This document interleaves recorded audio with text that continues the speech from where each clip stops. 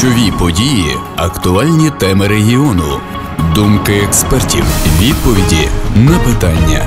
Відтепер і на регіональних телеканалах Суспільного слухайте і дивіться у проєкті Українського радіо Радіо День. В ефірі Українське Радіо. Ви слухаєте нас на хвилях 92 FM, місті Первомайську 105,9. Також наша програма можна передивитися і потім на офіційному сайті ЮА Миколаїв за посиланням mk.suspільне.media. Сьогодні 20 липня, понеділок, на студійному годиннику 12.16 у студії Ганастані за операторським пультом Наталя Квашенко. І ми розпочинаємо ми розпочинаємо програму Радіо День. Як завжди, ці працюємо наживо. Телефон студії 76 92 40 код міста 0512. Тема сьогоднішньої розмови успішне працевлаштування. 17 липня у Миколаєві відбувся тренінг з успішного працевлаштування. Про це повідомляється на сторінці Фейсбук регіонального фонду підтримки підприємництва у Миколаївській області. У програмі Радіо День з'ясуємо, які перспективи відкриваються для учасників проєкту з пошуку роботи, сучасні джерела інформації про вакансії, методи пошуку роботи, як уникнути шахрайства при працевлаштуванні. Гості студії директор регіонального фонду підтримки підприємництва у Миколаївській області Володимир Євсєєв. Вітаємо вас, пане Володимире. Добрый день. Та кар'єрна консультантка Наталія Кутняк. Вітаємо вас, пані Наталія.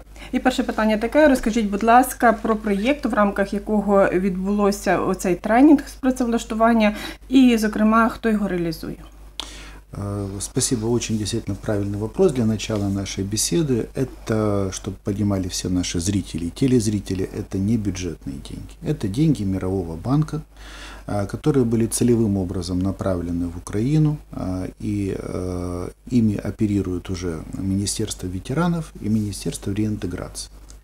И само собой, разумеется, они э, по-моему, еще зимой этого года объявили тендер на проведение в разных областях э, вот таких вот тренингов э, по бизнесу и по трудоустройству. Ну, коль мы говорим о трудоустройстве, будем говорить вот это.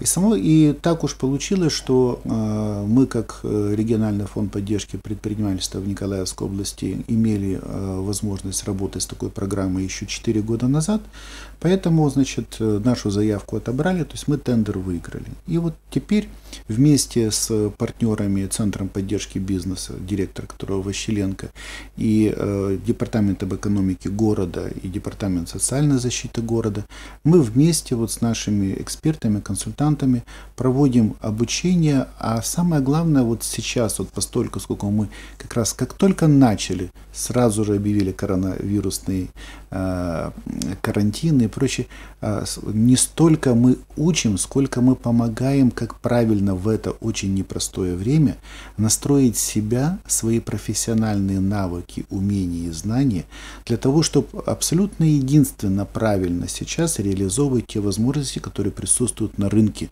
ну, как минимум нашего города, нашей страны и вообще вс- всего мира в целом. А хто має право брати участь і може брати участь безпосередньо в цих тренінгах? Да, значит, э, это ветераны, то есть участники э, войны э, э, АТО, ОСО, Э, это э, переселенцы, то есть вынужденные иммигранты, да, перемещенные. и э, местные жители, а, потому что, по мнению Мирового банка, вот именно подобные группы, где э, люди с самых разных, э, скажем так, обстоятельств между собой э, общаются, э, происходит действительно более удобная, более легкая социально-экономическая адаптация и людей, которые приехали сюда из-за того, что им вынудили сюда приехать, или ветеранов, которые пострадали, действительно люди с тяжелейшими ранениями, контузиями, и с какими-то, может быть, даже обидами из-за того, что это произошло, и э, вот с теми людьми, которые э, просто каждый день ходят по городу, там получают удовольствие, смотрят в новостях какие-то нехорошести. И вот они собираются вместе, и э, наши эксперты с ними работают. Вы знаете, настолько интересно, в считанные минуты группа находит общий язык, это действительно э, прекрасное начало. Е, Зрозуміло. Скажіть, будь ласка, це навчання, воно безкоштовне для учасників? Безусловно, не только бесплатное обучение, но и раздаточный материал и дальнейшие консультации после э, окончания, потому что мы, вообще-то, э, н- из некоторых из наших участников, с которыми мы работали 4 года назад, мы до сих пор консультируем и поддерживаем, потому что э, ну, это нормальное явление, если ты знаешь, делиться своими знаниями бесплатно, особенно для тех людей, которым это надо. А, Кроме того, кофе-брейки, питание. Поэтому в- условия созданы, на мой взгляд, очень хорошие. Е, Зрозуміло. Скажіть, будь ласка, що входить в базову програму тренінгу? Що чому навчаєте? Як відбуваються взагалі ці тренінги? Наверное, І скільки Наташа вони тривають? Ну, будь ласка, Наталю, ви також як е, консультанти на цих тренінгах, розкажіть, будь ласка. А, Изначально, когда я готовила данный тренинг, я хотела людей ознакомить э, с современными тенденциями, которые существуют у нас на рынке труда. Они, как правило, меняются где-то каждый год. А На момент, э, да, вот как раз нашего коронавируса, карантина прошло где-то примерно, вот, ну, грубо говоря, полгода а, с последних изменений рынка труда. И, безусловно, этот карантин а, повлиял на него.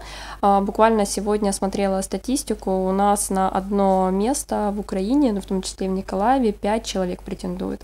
Месяц назад было 8 человек. То есть э, понемножечку бизнес выходит из кризиса, начинает искать себе персонал. И, соответственно, я хотела а, рассказать нашим э, слушателям э, тренинга, кого именно ищут, где искать, как лучше себя преподнести. Так когда тренинг ориентирован на участников АТО, на переселенцев наших, которые немножечко, да, привыкли жить э, в одних рамках, э, да, оказались в Николаеве, в Мгм. других рамках, и, соответственно, у них есть определенная дезориентация, они не знают, да, каких-то там наших внутренних, да, там групп, э, сообществ, где можно с кем пообщаться, соответственно, я старалась им это все раскрыть и как можно лучше вот донести, работала с их запросами в отношении того, что кто-то где-то потерял работу, да, по итогам этого кризиса, либо наоборот хочет поменять работу, а так как они когда были переселенцами, не шли просто на любую работу, а сейчас, соответственно, они хотят реализовать себя.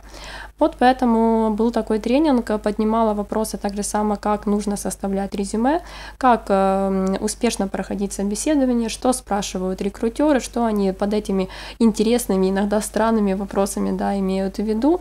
И также само э, были моменты, когда стоял вопрос о принятии нового закона о труде, вот, а также сама, да, знакомилась с нюансами, но тогда у нас произошли, ну, произошли изменения, это стало немножечко неактуально. Я пере- переориентировала тренинг на категорию еще 45+. Очень было много вопросов у меня в отношении того, а, почему людям отказывают в этих категориях, да, вот и старше. Также, да, объяснила, что происходит, почему так происходит и как эти моменты можно, да, обойти.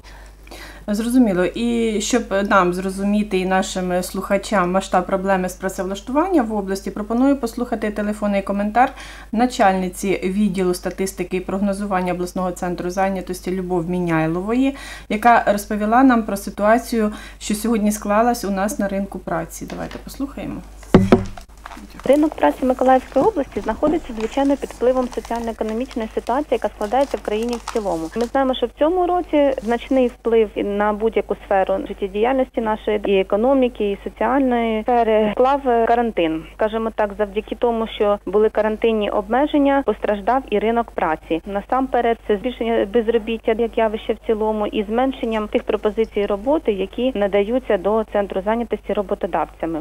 Зменшилась і кількість тих роботодавців, які надавали нам вакансії. Загалом, з початку року до центру зайнятості ну співпрацювали, скажімо так, роботодавці в кількості 3343 одиниці. Це звичайно менше ніж роботодавців було в минулому році. За січень-червень, тобто за пів року поточного, роботодавці надали вакансій в кількості 15 тисяч 694 вакансії, і це також менше аніж було вакансій в минулому році на 4 тисячі 600 вакансій. За видами економічної ж діяльності більшість вакансій пропонували звичайно в сільському господарстві, оптовій та розрібній торгівлі та переробній промисловості. До того ж, зазначу, що вакансії в сільському господарстві складали третину від вакансій загальної кількості вакансій в цілому. Станом на 1 липня кількість зареєстрованих безробітних становила 18 тисяч 140 осіб. І якщо порівнювати цю кількість з відповідною датою минулого року, то це в півтори рази більше аніж було на 1 липня минулого року.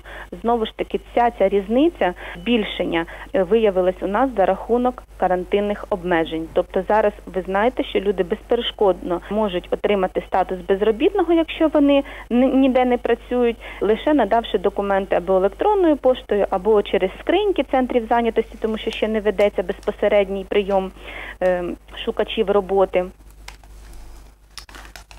Фахівчиня центру зайнятості Любов Міняйлова нам окреслила ситуацію, яка в нас сьогодні на ринку праці, і бачимо, що зараз порівнянні із минулим роком пропозицій набагато менше. І на це вплинув не лише карантин, я так розумію, а там ще можливо сезонні характер. Ну, на самом деле все немножко проще и глубже. Карантин э, в данной ситуации, сама вспышка этого вируса выступили просто как катализатор э, того процесса, который, в принципе, вот э, три года назад уже был назревший. Это очередной виток кризиса, глобального экономического кризиса. То есть весь капиталистический мир, хотим мы, не хотим, он развивается исключительно через победы в кризисах. То есть это борьба за живучесть, это выживание сильнейшего. Так развивается мир. И поэтому вот уже начиная где-то с 2015 года были явно видны предпосылки о том, что да, опять-таки э, затягивается пружина кризиса. Но в 2018 году очередная договоренность Китая с Соединенными Штатами Америки, в 2019 году еще очередные моменты. И поэтому, когда в 2020 году зимой случилось то, что случилось, пружинка просто раскрылась и э, произошло то, что произошло. То есть на рынке труда во всем мире сейчас э, очень сильный рост безработицы. Многократный и в Америке, и в Европе. Э, собираясь на сегодняшнюю передачу, я специально слушал европейские новости, э, прямые оттуда, и как раз меня интересовал раздел, связанный с занятостью их программы и общеевропейские в каждой отдельно взятой стране. Там сотни тысяч новых безработных, и особенно среди молодежи которые реально вот не могут себя сейчас найти по причинам э, и коронавируса, и карантина. Но самое главное это вот глобального экономического кризиса, потому что крупные производители, то ли это производители самолетов, то ли это производители автомобилей, то ли это даже производители поездов, они сокращают своих рабочих, потому что не нужно столько продукции на рынку. А тим паче зараз в період карантину, коли обмежені да. в Русі і в часі, і люди не мають можливості працювати. Ну вот сегодня, вчера вечером мой товарищ, э, прилетевший в одну из стран, которая опустила его супругой на отдых, он снимает э, на видео пансионатик у моря, в котором, ну мало того, что он там с супругой чуть ли не первые гости в этом сезоне, людей нет вообще, и обслуживающих тоже нет. Это, они же не могут стоять э, без денег, они, они же должны хоть что-то зарабатывать, да? Поэтому тут все взаимосвязано. Э, туристическая отрасль вообще во всем мире просто легла как таковая. Это же не, не вы не, из Николаева на машинке там пляжный турин день полежать, вернуться обратно. Поэтому тут мы а, только-только в начале а, неприятностей, связанных с рынком труда, и поэтому вот подобные мероприятия, работа таких очень качественных э, специалистов, наших экспертов, она поможет человеку найти себя в это непростое время. Ведь задача не именно а, июля 2020 года, задача всей оставшейся жизни. Вот мы когда выбираем семью себе, как мы хотим, чтобы один раз и навсегда. Так же. Вот так представить себе и с работой можно, но для этого надо быть профессионалом. И не только который умеет качественно копать, но и тот, который умеет качественно договариваться с тем, кто дает задание, договаривается с тем, кто контролирует и так далее, и так далее. Это целое искусство. Просто хороший парень – это не профессия. Е, Наталію, тоді питання таке: дивіться, ми говоримо про те, з одного боку, в нас е, карантини, так і обмежена кількість, і зараз і не бачимо, що не так багато у нас професій є, пропонуються вакансії. Так з іншого боку, ось пропонує центр зайнятості. Проводимо ми. Ось ви, наприклад, проводите тренінги, і все ж таки ви розповідаєте про те, де слід шукати ці вакансії, так? Угу, да, вірно. Е, ну, е, Скажіть тоді, будь ласка, крім центру зайнятості, куди ще можна звернутися і де можна знайти вакансії угу. зараз? А, хороший вопрос, очень популярный. Эм, в основном люди сейчас ищут работу на сайтах Work.ua и Работа.ua. А, также начал возрождаться понемножку сайт Headhunter.ua. И плюс, да, мы живем в 21 веке, век Фейсбука, Инстаграма и так далее, поэтому в них, в этих соцсетях есть группы, которые называются там «Работа Украина», «Работа Николаев», либо на английском там «Work Николаев». Uh-huh. То есть э, можно попробовать э, различные вариации, забить в поиск в Фейсбуке, в Инстаграме, и он обязательно выдаст группы, где можно дополнительно так же само искать различные предложения по работе. А, так как у некоторых работодателей есть определенные убеждения, что там Work, например, да, уже не работает, либо там а, нет тех кандидатов, которые ему хочется видеть, и он пробует новые-новые а, методы поиска. Поэтому там могут отличаться объявления, да, вакансии, в отличие от тех, которые где-то вы уже могли видеть на ворке или на работе. А также, если вы хотите целенаправленно попасть в какую-то определенную компанию, да, вот mm-hmm. есть там мечта попасть, там, например, там в Нибулон, либо там в Никутеру. А, соответственно, у этих э, крупных э, фирм наших есть, даже в принципе у маленьких есть свои сайты. Э, там всегда есть разделы карьера, вакансии, такого вот направления, где также само можно да, посмотреть, э, есть ли вакансии какие-то открытые в этой э, компании. Если нет, можно на почту отправить свое резюме да, и оставить его для резерва. Также само сейчас Facebook с прошлого года поменял, скажем так, настройки свои для бизнеса, и в интернете также само на страничках этих компаний есть вкладка вакансии. И они тоже, работодатели, пользуются этими вкладками, и можно конкретно зайти а, на страничку этой компании, открыть эту вкладку и посмотреть, э, кого искала компания угу. когда-то, либо, да, возможно, открыты вакансии сейчас. Также есть, э, скажем так, такое приложение, как э, Telegram. В нем тоже есть э, очень много различных групп, тоже работа Украина, работа Николаев и так далее, где можно так же само увидеть объявления. Есть узкие профессиональные группы, которые тоже есть в Инстаграме, в Фейсбуке, в Вайбере, в Телеграме тем более, которые касаются именно каких-то специальностей. Есть группы, чаты бухгалтеров, инженеров там и так далее. Тобто вот про оці всі методи ви розповідали на тренінгу, да, так? Да. А скажіть, будь ласка, самі ви ви кажете, можна подивитися, подивитися. А ви моніторили взагалі, заходили на ці сайти, дивилися, чи зокрема, які пропонуються вакансії, чи є ці вакансії? Угу. А, так как я еще работаю, да, вот рекрутером, ко мне обращаются многие работодатели за поиском э, сотрудников себе в штат. Да, сейчас заказы упали, в разы упали, а, но тем не менее все равно точечно вакансии открываются. Поэтому я постоянно в этих группах сижу, мониторю, да, кого ищут, кто ищет и так далее. А, да, объявления там актуальны, там можно искать. Единственное, что стоит да, обращать э, внимание на популярные объявления, где там пишут по поставьте там плюсик, э, семерочку, еще что-нибудь мне в комментарии, я вам напишу в личку. Угу. Скажем так, ответственный работодатель такого не делает. Он пишет э, открыто, максимально сразу свое объявление, условия, да, и а, оставляет контактные телефоны, на которые можно позвонить и связаться, а не просто, да, а, какая-то непонятная личная переписка. Если видите что-то подобное, то, соответственно, можете это обходить, это не работодатель. Сто процентов.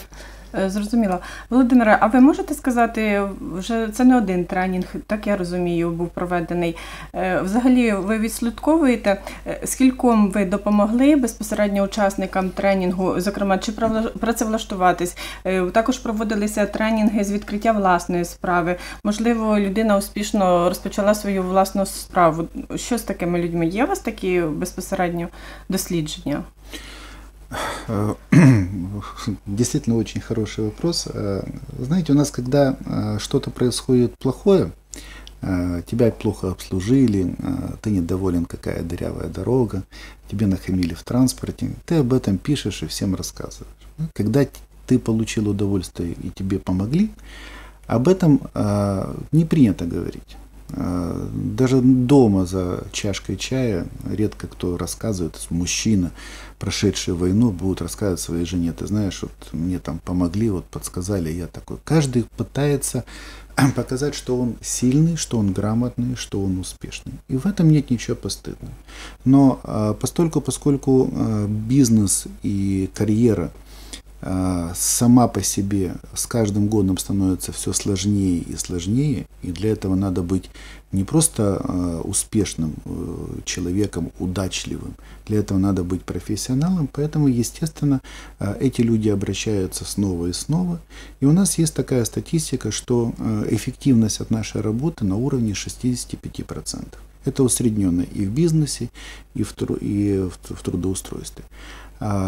Насколько люди в дальнейшем будут довольны? Ну, наверное, их надо приглашать сюда, чтобы они сами об этом рассказывали. Но среди них есть действительно те люди, которые поменяли полностью свою жизнь, свой уклад, которые поменяли и город, и область, которые э, работают и довольны, что они э, находятся сейчас здесь. Маленькая буквально история, если есть пару минут. Э, одна из семей переселенцев обратилась к нам несколько лет назад, буквально с первой волной, а, девочка, вот куда порекомендуете? Я всегда в такой ситуации говорю, давайте посмотрим на ребенка, а поскольку сколько резких конкретных увлечений у ребенка не было, говорю, давайте посмотрим, что будет потом. И мы дали рекомендацию, э, ребенка надо учить на биотехнологию. То есть профессия, которая будет востребована. И ребенок поехал учиться в Харьков э, по специальности биотехнологии. И когда закончилась в прошлом году учеба, и ребенок приехал сюда, в Николаев, найти работу у этого ребенка не было вообще возможностей.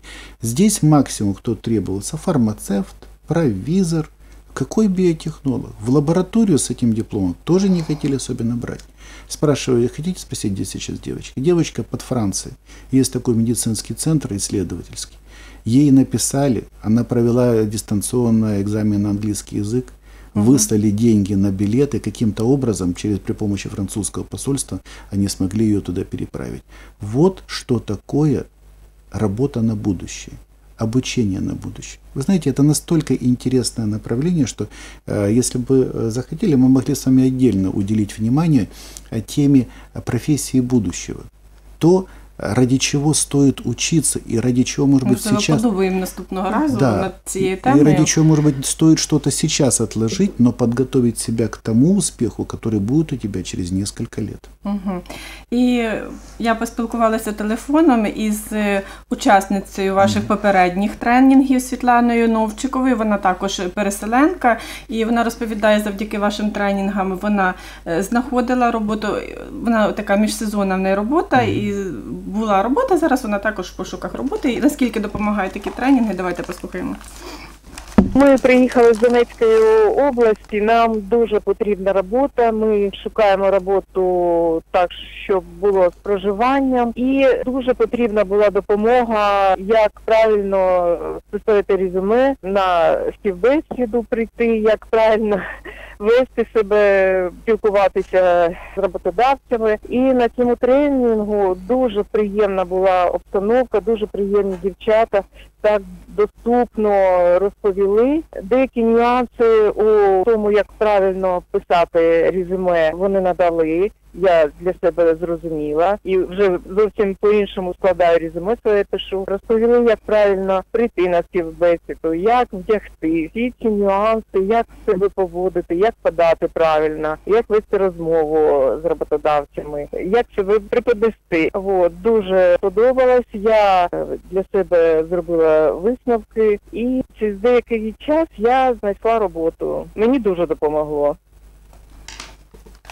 Ось переселенка Світлана Новчикова завдяки вашим тренінгам е, знайшла собі роботи і вже знає, як написати, зокрема, і резюме, і як е, себе подати безпосередньо тому роботодавцю. Давайте декілька слів скажемо нашим слухачам. Можливо, хтось е, також зараз вагається і також в пошуках роботи, але можливо йдуть, мають йти на співбесіду.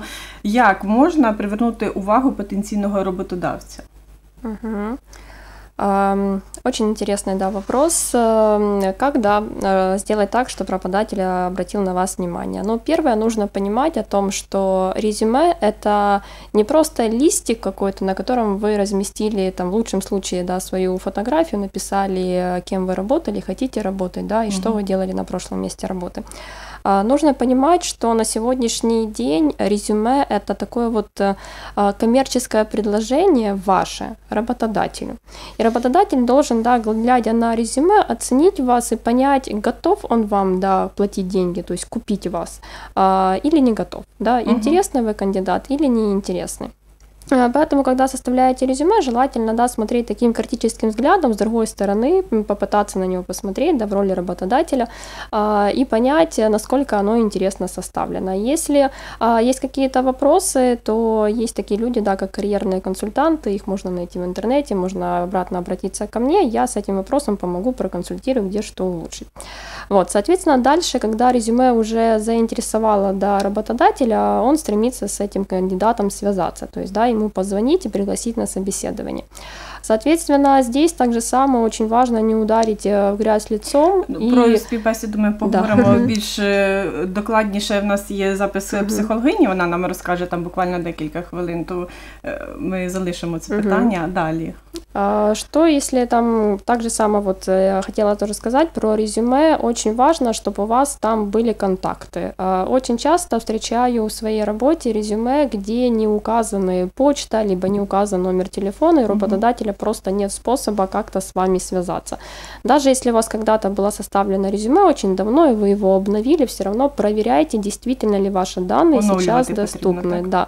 Иначе очень часто видишь э, картинку, резюме постоянно мелькают, мелькают, мелькают, и ты этому человеку дозвониться не можешь.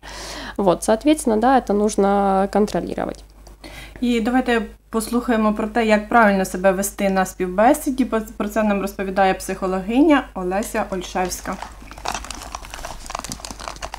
По-перше, треба заздалегідь знайти інформацію, щоб ознайомитися з діяльністю цієї організації. Друге, дуже важливий момент це треба пам'ятати, що ні в коєму разі не можна запізнюватися. Якщо ми вже говоримо про те, коли людина спілкується з інтерв'юером, то тут дуже важливо такі застосовувати методи, як е, зберігати зоровий контакт, Е, тобто не можна перебувати співрозмовника. Якщо людина сумнівається в суті питання, не розуміє, що його запитують чи про що мова, то не вагайтеся, перепитуєте. Дуже важливо слідкувати за постановкою тіла. Якщо ви розмовляєте з інтерв'юером, потрібно дивитися на, на нього. Ну не обов'язково прямо в очі дивитися, це теж не дуже гарно, але намагатися оцей контакт зоровий його зберігати. Якщо допустимо місце, де сидить людина на співбесіді, воно розташовано не так, щоб бути прямо перед роботодавцем, то потрібно не соромитися, а поставити стілець так, як потрібно,